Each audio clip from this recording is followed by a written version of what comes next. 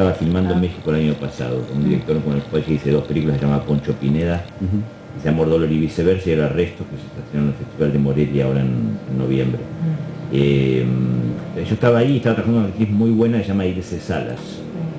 Y la actriz estaba trabajando en Coco, en México. Me dijo, che, vengan a verme. Bueno, la fui a ver, un poco no, no, con un poco de prejuicio, no sabía bien qué iba a ver. El protagonista era Diego Luna. Ah, eh, y Diego el- Luna, ¿qué papel hacía? el personaje mío. El tuyo. Me encantó. O sea, me emocionó, me encantó, me gustó mucho la obra, me gustó mucho cómo estaban todos los actores, muchísimo. El trabajo de Diego me había encantado, había otro chico que es muy buen actor, que se llama José María Yaspi, que es muy buen actor también. Ilse estaba estupenda, el padre estaba estupendo, estaban todos fantásticos. Y dije, che, le dije a mi mujer, qué bueno estaría de hacer esto, ¿no? En Argentina. Quedó ahí. Soy- quizás soy un poco grande para el papel, pero quedó ahí. Ocho meses después me llama Brutra para decirme, che, Leo, eh, tengo una obra con Dani Veronese que nos No. interesa mucho hacerla, se llama No, no, Lago, no. le digo. Le, le digo Lago, Lago. Dame, dame dos, tres semanas, un mes para ver qué hago, qué pasa con la película, con la famosa película de Odara, de la de Darín. Y- pero dame un momento, bueno, pasó un mes, dos meses, bueno, yo todavía no, no podía darle respuesta, buscaron otros actores, creo que no lo terminaron de encontrar, dos meses después lo llamé y digo, ¿ya tenés actor? No, ¿qué pasó? ¿Qué onda? Bueno, dame dos semanas más, les digo, que a ver si- finalmente la película obviamente no se hizo y la pude hacer, así fue. Increíble, fue como una especie de... Pero bueno, me duró poco. se alinearon los Sí, sí, Sí, que me cuenten mucho porque la voy a ver esta noche. Bueno. Eh, es una obra bastante jugada, ¿no? Mira, yo creo que es una obra que habla de... de- no, no es jugada como se la presenta quizás tanto en el afiche, ¿viste? Por eso. Digo, pasa todo lo que está en el afiche, que es- yo me estoy ahí dando un beso con... casi dando un beso con él y abrazando con Ironora, digo, eso pasa en la obra, digo, hay una relación Bueno. amorosa, afectiva entre dos hombres y estable, eh, y, y después hay toda una relación también con una mujer.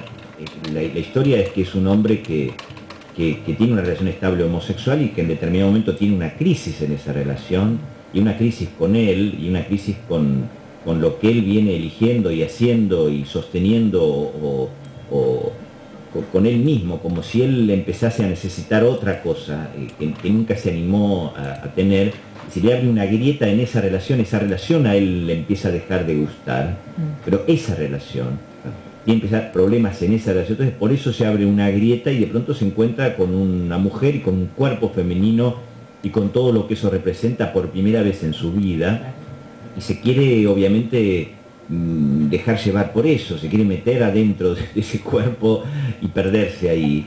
Eh, es como ese cuerpo femenino empieza a ser como un gran parque de diversiones, ¿no? Donde él puede pasear sobre territorios que nunca había descubierto y nunca había paseado, ¿no? Y, eso es muy hermoso, porque aparte tiene mucha también tiene momentos de mucha comedia la, la obra, porque tiene un tratamiento, es una obra inglesa, se maneja muy bien la ironía, a pesar de ser un drama, ¿no? Porque en definitiva también hay mucha hay mucha indecisión, hay, hay mucha quiero decir, hay se, se tocan cosas que a la gente también le, le pueden perturbar, que tienen que ver con la indecisión en, en el amor, con, con que te quiero, pero que no ahora no te quiero, con que los, los quiero a los dos, quiero decir, hay, a quién quiero, con quién quiero estar, pero que en realidad se usa todo el tema de la sexualidad para en realidad hablar de la identidad. En es un pibe que no que nunca se animó a, a- sostener sus, sus propios deseos, ¿no? Como que no le enseñaron a,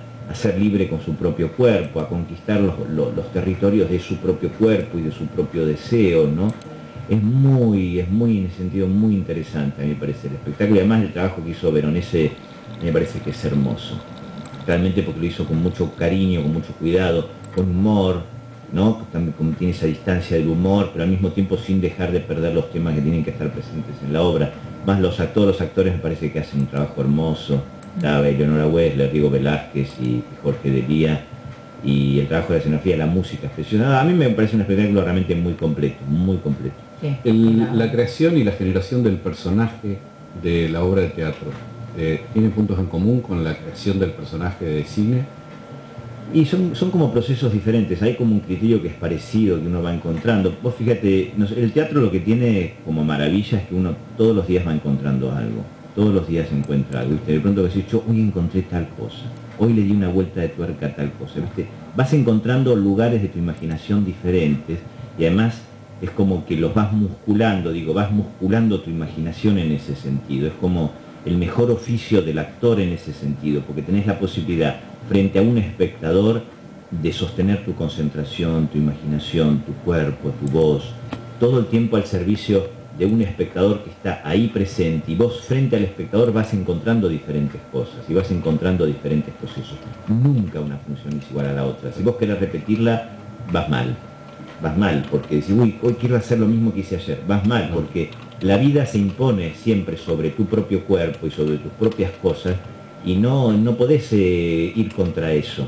Por supuesto hay un personaje que está en juego, pero nunca va a salir igual, nunca te sale una palabra igual a la otra, una escena igual a la otra que del día anterior. Siempre vas y además vas siempre en un proceso de profundización de lo que vas haciendo. Por supuesto que hay un criterio de trabajo que tiene que ver con la creación de un personaje que es parecida a la del cine. Pasa que la, la mecánica es tan diferente que el aprendizaje que hay en el teatro es brutal, es brutal. Por eso los actores de teatro cuando si saben pasar al cine la rompen, porque, porque tienen ya un, nivel de solidez interna frente, a la, frente al espectador, frente a la cámara, en, la construcción de un personaje, en, saber lo que el espectador eh, es, es decodificable hacia el espectador. Digo, el actor de teatro, cuando realmente sabe entender la tecnología eh, expresiva del cine la rompe, como bueno, como los actores ingleses, ¿no? que, prácticamente todos están formados en teatro. Eso, ese, esos matices que encontrás a diario en la creación de un personaje y ponerlo y exponerlo, es lo que hace que no te aburras, porque uno de abajo dice, uh, hace ocho años que están haciendo la misma obra. te juro que no te, bueno, no sé, ocho años, nunca hice más. No, ocho años es una forma de decir. No, yo nunca, no, pero en mi caso hay gente que sí que lo hace, digo, Art lo hicieron siete años. pero, digo, Estado de Ira están haciendo hace cuatro o tres. Pero digo, en mi caso yo nunca hice algo más de nueve meses, eh, que fue una obra que dirigí al Halcón en, el Pairo, que era La soledad de los campos de algodón de Coltés, La soledad de los campos de algodón pero mm, en mi caso mm, eh, no, te aburrí, no, no, nunca te aburrí justamente por eso. Al contrario, siempre hay nervios, siempre decir, viste, uy, a ver qué tal sale hoy, a ver qué tal es el público de hoy, porque aparte el público es una presencia muy concreta también, eh, porque es una energía muy concreta que de pronto se transforma eh, para uno en una masa con, con mucha personalidad. Eh, y lo que pasa es que el público es como el eh, minuto a minuto en la tele. Es, el minuto... Si el público se ríe eh, o no, a vos te, puede modificar ese segundo. Yo creo que sí. Desgraciadamente muchas veces uno se deja llevar por eso de la risa. Por eso hay tantas obras que se van degradando por eso de la risa. También se van transformando, van perdiendo como complejidad porque uno cree que si se ríen está bien, ¿no? Y no necesariamente es así. Pero sin embargo sí, la risa uno pareciera que es un pero al mismo tiempo uno, uno no hace falta sentir la risa, sino que sentís como, como si fuera un, animal peligroso que está cerca y te, está respirando cerca, eh, peligroso o amistoso, pero sentís esa presencia, eh, esa presencia de, algo, de algo muy fuerte que está ahí. Eh, el otro día, por ejemplo, en el teatro ayer, no, cuando fue el jueves, a mí me mató, porque en un momento en la primera fila vi una chica que estaba, en un momento yo estaba trabajando con Eleonora así la tenía de frente, y de pronto veo una chica que está mirando para otro lado. ¿Qué onda? Mirando, para abajo, como, como, si fuera casi una provocación a lo que estábamos haciendo, diciendo no me interesa lo que están haciendo. Y después me fui, y después me fui dando cuenta que estaba escribiendo, escribía más tiempo de lo que estaba mirando la obra. Digo, pero ¿qué onda? De verdad nos mató a todos, porque aparte todos la vimos porque estaba en la primera fila. Claro estaba en la primera fila como ignorándonos, pero y al mismo tiempo estaba escribiendo. Yo digo, pero ¿qué onda? ¿Por qué no te vas a escribir un bar? digo, quizás era una periodista que escribía. Sí, pero no tengo idea. Pero te, juro que no sabés el tiempo que se la pasaba escribiendo, mirando para abajo. Pero se supone que ustedes no deberían ver eso. Pasa que mira, en esta. ¿No deberían estar pendientes de eso? No, claro que no. Porque, un ruido te lo entiendo, un teléfono que suena es para cagar. Lo que pasa es que es como que eh, en este en esta cosa se ve todo, en este se ve todo porque hay una luz que ilumina mucho al espectador por cómo están puestas las luces y además este, la, teníamos en la primera fila como, como si estuviera casi arriba del escenario, ¿entendés? Era muy difícil no verla, al contrario. Y, hay un código en ese momento? No, no, no. o sea, lo hablan después, esa, esa pelotuda yo, no tengo tiempo de... No, es un proceso que me pasó a mí, yo, yo no tuve tiempo de, hablar con nadie porque yo estoy todo el tiempo arriba del escenario y hablando todo el tiempo. Este, entonces no pero pero sí te- son cosas que te, te sacan quizás la chica pobre le encantó y viste pero uno empieza a generar Sí. monstruos sobre eso empieza a proyectar sí, sí, monstruos sobre eso es decir, soy el peor actor del mundo no les gusta no le interesa ¿entendés? es terrible Bueno, hay una anécdota de Juan Gil Navarro, ¿no? Que En, en el- las en- brujas de las Salem, brujas, eh, por lo que tengo entendido, no, no yo no estaba Sí, en sí, esa porque lo confirmó Eh, Lali Espósito. Claro, que había, pasaba algo en las brujas, estaba Lali Espósito que, viste que tiene como un público muy, claro, convocaba. muy adolescente, Ah, eh, claro. ella es una de las chicas de Casi ah, Ángeles, sí sí sí pero bueno, estaban haciendo las brujas de Salem, con Juan Gil Navarro, creo que Rita Cortés, no me acuerdo del gran elenco. elenco. Eh, claro, se ve que había un grupo de chicas que fueron a verla a Lali. ah Quizás no sabían qué tipo de obra iban a ver, uno no sabe. y entonces Se ve que estaban también primera, segunda fila, muy cerquita del escenario y se pusieron a comer papas fritas, mandarse mensajitos de texto, viste, como Claro. una situación muy poco teatral. claro, claro. Muy poco teatral. Y Juan Gil Navarro, por lo que tengo entendido, paró la obra. uh mira me va a reemplazar se- Juan Gil Navarro me Se va a acostó reemplazar y en esta se obra. tiró en el, en el, Uh. por- en el escenario y le agarró el paquete de no, papas fritas. sí, Sí, sí, sí, sí. sí. Si, si- si estoy dando una versión equivocada No, y no, Juan Navarro nos cual, está cual. escuchando y nos la quiere contar, bienvenido porque yo es algo que, que lo leí. Me va a reemplazar. Juan Gil Navarro, justo mira, lo nombraste Ah. Juan Gil Navarro, me va a reemplazar en la obra. que no venga la piba que escribe porque le saca la lapicera. Escuchame, a mí me pasó el otro día que estaba, sonó un teléfono cuatro veces el otro día mientras estábamos eh, haciendo yo como el final, no sé qué, empezó a sonar el teléfono. Ah, sonaba, no. sonaba, sonaba, sonaba. yo- Entonces yo en el medio del monólogo que tenía dije, ¿y ese puto teléfono? Claro, pero es una obra que te da. Es una obra que da. Claro, pero dudo, dudo que en las brujas de Salem tuviera ese, No, no, ese permiso. Vamos a un temita, estamos con Luis Baraglia, vamos a un temita a la tanda y después eh, vamos redondeando. Y le voy nota. mandando un saludo a Norma, que me voy ahora de cumpleaños, y cumpleaños, soy Norma Pino. Norma, que tengas un hermoso cumpleaños si nos estás escuchando, eh, ya te vamos a comprar algo lindo y te lo lleva Leo. Sí, sí, el regalo ya lo tuve y después, bueno, a ver, una... En Vorterix en el segmento 12-14, pues no viste, es raro esto, ¿no? No, no- no somos un programa, somos un segmento dentro de un todo que es Claro. Vorterix. Un nuevo concepto. Bueno, Te quedaste mirando, ¿este me lo dice en serio lo o me está boludeando? de a poco. No, no, es así, es así. el segmento Pero ya lo está entendiendo tanta gente que nos damos cuenta que vamos por buen camino. Porque estamos, nosotros que le sí. seguimos diciendo programa. Sí, a veces le decimos programa o por ahí nos acordamos del nombre como... como- Sería un segmento. Esto es un segmento, segmento, radial, un segmento. dentro de todo lo que es Vorterix. Claro. Hay, mucha gente muy contenta con esta Sí, entrevista, ¿eh? ¿Cómo te van las redes sociales? ¿Tenés algún contacto con redes sociales? No, sé.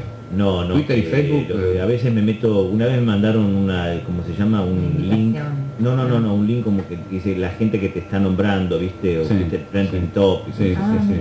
Este, me mandaron eso, entonces a partir de eso a veces me meto a ver qué... ¿Pero tenés un Twitter? No, no, no, no. ¿Una cuenta de Twitter? No. No tengo O sea que todas las cuentas que sean Les Baraglia, pero estoy seguro que hay 50, son todas truchas. Son- no, tengo una gente, una- yo tengo un blog de, uno, una gente en Brasil, Mm. ricardobaraglia.blogspot.com, que son unos fans brasileros que se me hicieron después de Epitafios que se pasó a través de HBO en Brasil. Mm. Y son fans, fans, fans, son una gente encantadora y hacen un blog que lo actualizan, te diría, eh, hora a hora. Y, son, y ya me terminé, tengo, tengo ya el mail, tengo contacto con ellos, muchas veces hasta yo les mando cosas. Ah, mira. Son fanta- lo conocí a él, que es un dentista, que una vez se me presentó en un estreno, es divino, Rogerio y Magda Miranda, son extraordinarios. Ellos sí son, digo, eh, como que yo tengo contacto Lo- con sí, ellos. digamos que son oficiales. Y ellos también hicieron ahora un fan, un, Twitter fan, no sé Sí, qué. hasta un- Ah. Este, pero, pero claro, yo no, no tengo mucho, no- yo no tengo un Twitter eh, y todo eso. No te interesa. Tampoco Facebook. Pasa que yo ya bastante con el Messenger y no sé qué, estoy... Sí, sí, Ya, sí. ya eso te supera. Eh, no tengo tiempo y además eh, eh, me parece que, viste, a veces, y eso es cierto, muchas veces, viste, te dicen, no, estás más tiempo mirando el teléfono que mirándome a mí, viste, o Sí, mirando no, la es cierto, realidad, es y cierto, eso es cierto. una joda, Sí. quiero decir, o sea, es complicado ese tema, viste, hacia dónde va yendo. Me parece que tenemos que volver a, otra vez a mirarnos más, viste, que hay gente que de pronto está en una fiesta y se manda mensajitos en lugar de estar en la fiesta tocándose. Sí, sí, sí, sí, sí. ¿Entendés? Esto Yo anoche pasa me- mucho con los jóvenes ahora. Me descubrí comiendo, cenando con mi mujer y los dos con el con teléfono el- chequeando cosas. Viste, Y no, no nos hablamos. charlando, digo, como es complicado, viste, hay como que volver a algo Sí. me parece de antes, ¿no? Es cierto. Ah, Pero eh, la gente está participando mucho. Eh, Sí, acá hay un sí, Twitter que es arroba Vorterix y la gente está, está fascinada. Creo que el público femenino me parece que Sí. predomina. Sí, Sí. porque están haciendo comentarios. Sí. Y esos ojitos, ¿viste? Bueno, entretenidísima la nota con Leo, déjenlo todo el día, ya nos están dejando de Sí, lado, sí, espacio. Vorterix. déjenlo todo el día. Dejó- El segmento es El Baraglia. segmento es Baraglia. 24 hours. Este, diga, decirle, pueden decirle a Leonardo Esbaraglia que es mi amor platónico desde clave de sol. Mirá, Mirá. tiene to- toda una vida. Sí, ya son 25 años. Toda una vida. Este, y hay una, hay una, una gente que nos cuenta la anécdota de Juan Navarro en las brujas Ah, de Salem. efectivamente Se ve que estaba en esa función porque Si aparece la chica que escribía el otro día en la primera fila, por favor. que por favor nos diga qué es lo que está escribí escribiendo. lo que estaba Tenemos esa escribiendo. duda. Sí, ahora nos sí. hemos quedado todos con la duda. Pero Cuando sí, estás eh, en tu casa, te, bueno, es eh, una criatura de quien eh, ocuparte, pero Sí. tenés tiempo para sentarte a ver algo en la tele, ¿qué elegís ver? ¿Ves series yankees? Mira, Están en un hoy gran día nivel. haciendo teatro es muy difícil, pero, pero he, he seguido un poco de Mad Men, que me parece Ah. increíble. Eh, antes eh, lo de... mm, Pero hay muchísimas series, ¿eh? Antes me gustó mucho también la de Six Feet Under, la de Sí. los metros Sí. bajo tierra. Lo digo, ahí sé que hay un montón ahora, pero no, no las puedo seguir. Hay gente que sigue las series americanas y dice que es una maravilla. la viste en España, porque hiciste dos metros ¿Cuál? bajo tierra. Dos metros Under. Dos metros bajo tierra. Este, la pero viste allá. bienvenidos a la Argentina. Este, no, pero sí, Six Feet Under. No pasa que digo, no sabes si nombraron en inglés o Sí, sí, Six sí. Feet Under. Vamos con el inglés. Sí. Sí, hay series muy buenas, pero no sos de sentarte y decir, bueno, me veo Sí, cuando tengo tiempo sí, me encantaría. me pongo al día. Sí, sí, sí. Ahora de Mad Men vi poco, vi poco, me gusta, me gustaría ver. Pero sí, yo tendría, tendría que dedicarme a eso, como dice un amigo, como, como si fuera casi materia de estudio. Es decir, bueno, me tomo un día a la semana para ver todo lo que a mí me, me, me hace bien y me forma y me sigue formando como persona y como actor, ¿no? Mm. O que sea un día, que sea todo un día estar viendo Herzog, no sé, ¿entendés? Claro, Sí, sí, claro. sí, totalmente. Este, hay que hacerlo. Tendría, debería hacerlo más de lo que lo hago. En la tanda hablábamos mucho de esto de la posibilidad de elegir los trabajos que vas haciendo. Eh, ¿cómo, ¿Cómo elegís lo que haces en tele? ¿En base a No, qué? lo de en terapia se cayó de maduro. terapia porque sí y otras cosas. Estaba más y metido ahí en el medio, yo había trabajado con él en televisión por la inclusión y me pareció un gran director, él me, él me convenció de alguna manera para hacerlo, Mm, se cayó de maduro, digo, después fue increíble haberlo hecho, para mí fue una de las cosas que a mí más me gustan, cuando yo lo, antes hablábamos de eso, yo lo miro ahora en terapia y me encanta, porque, porque también había, se daba una dinámica técnica de estar 40 minutos adelante de una cámara eh, actuando, que se producen cosas eh, todavía, mm, todavía más interesantes que, que si querés en el teatro durante una y media, en el sentido de que sabés que tenés, de última, puedes arriesgar todavía más porque sabés que tenés, que lo, que lo pueden editar, Sí. Entonces, en ese sentido, en ese sentido, que en el teatro digo, también pasa eso, digo, que podés arriesgar y bueno, y en definitiva te equivocas, te puedes equivocar, digo, no pasa nada, pero en ese sentido es muy raro ver eso en la tele. Y, saber que tenés 40 minutos para desarrollar algo. Nosotros hacíamos un capítulo por día en terapia. mm. Eh, y hay muchos capítulos de en terapia que están hechos en una toma. eh, y está, en ese sentido, bueno, te da una cosa que es muy fuerte. Sí. Eh, y, y qué cosas haces que no, en general lo que digo, hago que no, tiene que ver, sí, supongo que con, con- con que me interese lo que se está contando en esa historia. En terapia a mí parecía que estaba muy bien todo lo que se contaba. De pronto que te interese, que, que vos tengas de pronto ganas de estar un año o la, o la posibilidad de estar un año. A mí lo que pasa es que en general, como me pasa esto, que de pronto digo, estoy haciendo teatro, tengo que estar solo tres meses, o estoy haciendo televisión, estoy solo tres meses, es difícil. Porque de pronto yo tengo muchos proyectos en cine, el año que viene tengo muchos Como proyectos que el en cine cine. rige un poco más tu agenda, digamos. Me parece que sí por ahora, al menos hasta que quizás tenga 45 años, quizás sea así. Claro. Digo, yo tengo este proyecto ahora que ya les comentaba, después tengo otro proyecto con Hernán Belón, tengo otro proyecto con Anaí, Anaí Berneri, que también me encanta. Mm. Digo, el año que viene tengo tres, cuatro cosas en cine que me interesan mucho. Y tengo un proyecto también en teatro con Mariano Mucci, que también es un director Sí. de cine y muy amigo, para hacer una historia que es sobre Gardel y Drácula. Es la historia de Drácula, pero personificada en Gardel. O sea, Gardel, en lugar de venir de Transilvania, viene de New York, es un monstruo, es un vampiro que viene a reencontrarse con su heroína de hace 500 años, que está en Buenos Aires. Se vuelve a Buenos Aires. Volver a la frente marchita. ¿Vas a hacer Gardel? Y entonces tengo que hacer una especie de Gardel Drácula. Gardel con colmillo, este, Uy, es una historia muy rara. sangrienta al mismo Sí, sí. tiempo Y, a, y a- y a la vez tengo que cantar. Hay varios temas de Gardel que tengo que cantar, obviamente no pretendiendo imitar a Gardel, se, se buscarán de otra manera. La música la hace, la va a hacer, todo el tratamiento musical la va a hacer Axel Krieger, eh, Mariano Mucci, y mi mujer va a estar eh, también a cargo también de la escenografía y de todo el trabajo visual, donde va, se va a incluir mucho trabajo audio, audiovisual, o sea, mucho, mucha cosa fílmica Ujú. también dentro del espectáculo, lo va a producir Lino Patarano. Y bueno, en algún momento del año que viene lo vamos a hacer, este, quizás en agosto, por ahí, este, para en agosto. No, no, no, bueno, está en mi agenda eso, o sea, yo apenas termine la película de Ricardo me pongo a ensayar con eso, hago en terapia la segunda temporada y me pongo a ensayar con eso. O sea, bueno, el laburo el año que viene voy a tener. Sí, y, te- y Dale. que tenemos un rato más acá en Argentina. Me tengo que poner a hacer un trabajo también de boxeador para Hernán Belón para enero del 2013, y lo del, a ver lo de Anaí y Berneri cuando lo metemos y bueno, el laburo voy a tener. por Bien, baja el pibe, Me parece que el año que viene me, me- me puedo mudar, ¿eh? Sí, hay, hay una, hay una cosa que está pasando que estoy como tratando de, de descifrar y me vas a ayudar vos porque sos parte de esa generación. Los que siguieron de tu generación, los que siguieron laburando, están todos muy bien hoy día. Están todos laburando muy bien. Hernán Mirás Fernán, por Dios. es un grande, Hernán Mirás es un grande, y además un gran amigo y además un gran actor. Yo lo admiro muchísimo, Fernán. Después me pasás el teléfono, me encantaría invitarlo. Sí. a ver si se copa, porque la verdad que. Fernández ahora está muy ocupado. porque está entre un montón de cosas, pero es un grande, es un grande. Hernán es un grande. Sí, un grande que yo espero que cada vez sea más reconocido como tal, porque creo que es uno de los grandes actores que tenemos en este país. La verdad que sí. bueno.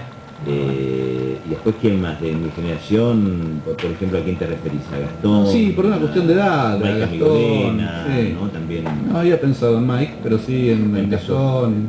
Eh, después, eh, Rodrigo es un poquito más chico, tendrá 4 o 5 años menos. seis años Sí. menos, este, que me encanta también, Rodrigo de la Serna.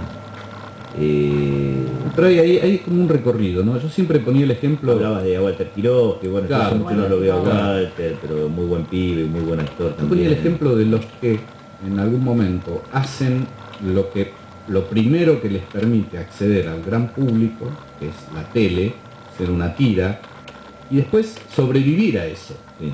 Ah, y ahí empezar sí. todo un recorrido que generalmente con el paso de los años y cuando llegan a los cuarenta y pico están en un nivel y en un momento que me parece brillante Sí. y, y es El Pablito Charri también es un gran tipo, Sí, y ha es- hecho- sí, bárbaro, y además ha, ha hecho trabajos hermosos también, Pablo. pero vos en algún aparte es un momento gran compañero, Pablito es increíble. Yo laburé en Plata y en Las Viudas con él y Ajá. Lo adoro Sí. a Pablo, es un gran tipo, gran tipo. Juan Minujín, un chico también más sí chico. sí sí estuvo acá estuvo invitado acá la pero verdad muy una gran- sí. ¿viste? hicimos vaquero con él Sí. y, y es un gran pibe y creo que realmente un gran actor también. muy talentoso Sí, sí, sí. Pero vos, vos ves esto, en algún momento dijiste, bueno, yo eh, es- tengo que aprovechar esto que me dio la tele y la exposición, mi primera exposición, para llegar a otro lugar, o simplemente es un desarrollo de tu propio crecimiento y, y, y llegar En mi caso se dio así. Yo, Pero no hubo un plan. No, no, bueno, después sí, o sea, quiero decir, cuando yo hice Clave de Sol, que fue mi manera de empezar, la, que pude o la que se me dio, que fue en el sentido la que fue y tuvo- estuvo llena de cosas increíblemente valiosas, y después a partir de ahí yo fui tratando de encontrarme con lo que yo quería hacer, eh, cada vez más. De hecho me costó, nunca más pude volver a hacer una tira, de hecho, Clave de Sol, hace 25 años no hago una tira. Eh, hice una con Natalia Obrero, después eh, no, sé, no se pasó, bueno, pero, pero sí, o sea que te va, el cuerpo te va pidiendo hacia dónde querés ir. No, no es que hay una estrategia, porque es muy difícil en la Argentina hacerte una estrategia. ¿viste? Yo te nombré todos los proyectos que tenía sobre el futuro, pero andás a ver cuál sea. Claro, el año que viene hacemos otra nota Lo de Gardel, lo de Gardel Claro. seguro, eso seguro lo Claro. vamos a hacer. Lo de en terapia también. Todo lo demás puede Sí, caer, sí. puede quedar en el camino, se puede hacer en el 2015, puede pasar. O sea, es muy difícil establecer una estrategia, decir, bueno, voy a hacer tal personaje, después voy a hacer el opuesto, entonces después voy a hacer probar tal cosa. Digo, eso es imposible. Si no, bueno, te va saliendo sobre la marcha y lo vas eligiendo sobre la marcha. Eso es así, eso es así.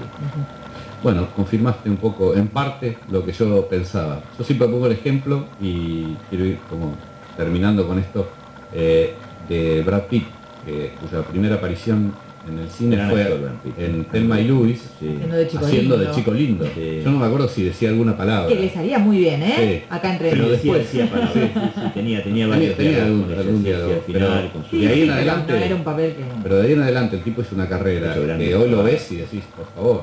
grandes trabajos Entonces, sea, también mucha Sí. gente tiene Sí. mucho prejuicio con él porque es lindo, no sé Sí, qué. no, pero es un. Pero es un gran actor. No, es intocable. Es intocable. gran actor. Yo no tengo ningún prejuicio. ¿eh? No, no, pero, que- no, pero pasa, ¿viste? ¿Qué sé yo? No, pero es verdad, pero sí. Y pero qué lindo genera, Quizás genera García un montón de cosas. Quizás García no te lo nombraba en... Pero No, no. No, hacía una crítica y decía, no, no, no te lo nombraba. nombraba Brad Sí. Pitt, pero... Hablaba de 12 monos y solo mencionaba a Bruce A Willis. Bruce Willis. No, no, pero es un gran, gran, gran actor. sí. Bueno, Leo, sabemos que tenés que ir a comprar flores. Me voy a comprar las y flores para Norma, me están esperando para almorzar. Hemos estado una hora y media hablando, la verdad que Este, se, pasó volando. La verdad que si no, me- te juro que me quedaría, ¿eh? Si no, si no tuviese a mi hija en lo de Leti y No, la vamos a repetir entrevistas para el año que viene, así que te Dale. comprometemos el año que viene, nos venís a hablar de Drácula. Fernán, hablamos de Drácula. Sí, hablamos de Drácula y, y nada, y bueno, nos seguimos viendo. Y esta noche te veo. Esta noche Claro, espero y bueno, a ver, espero que te guste. Apaga el celular y Sí, apago el celular. no, no espero que nos escribas. una linda función. Yo, no voy a escribir, yo te digo que voy a escribir. me encanta ir a teatro a escribir, me encanta teatro. escribas, Sí, sí. no comas papas fritas y no te suene el celular, por favor. Sí, quédate tranquilo, las tres cosas te voy a hacer.